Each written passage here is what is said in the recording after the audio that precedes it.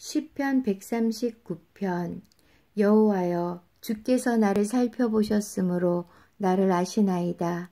주께서 내가 앉고 일어섬을 아시고 멀리서도 나의 생각을 밝히 아시오며 나의 모든 길과 내가 눕는 것을 살펴보셨으므로 나의 모든 행위를 익히 아시오니 여호와여 내 혀의 말을 알지 못하시는 것이 하나도 없으시니이다.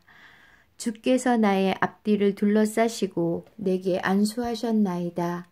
이 지식이 내게 너무 기이하니 높아서 내가 능히 미치지 못하나이다. 내가 주의 영을 떠나 어디로 가며 주의 앞에서 어디로 피하리이까. 내가 하늘에 올라갈지라도 거기 계시며 수월에 내 자리를 펼지라도 거기 계시니이다. 내가 새벽 날개를 치며 바다 끝에 가서 거주할지라도 거기서도 주의 손이 나를 인도하시며 주의 오른손이 나를 붙드시리이다.